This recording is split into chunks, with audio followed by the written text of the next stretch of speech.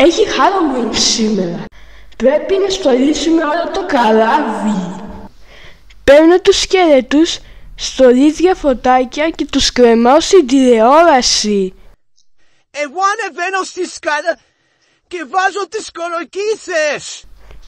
Βάζω τα κελιά, αλλά βάζω δίπλα σε σανισέρ την κολοκύθα, όμως την πρώτη των ελκυστήρια στο δωμάτιο μου θα βάλω το κολοκυθοκούβενο. Πρέπει να κατέβω στην κουζίνα, αλλά τι είναι αυτό; Ας το πατήσω.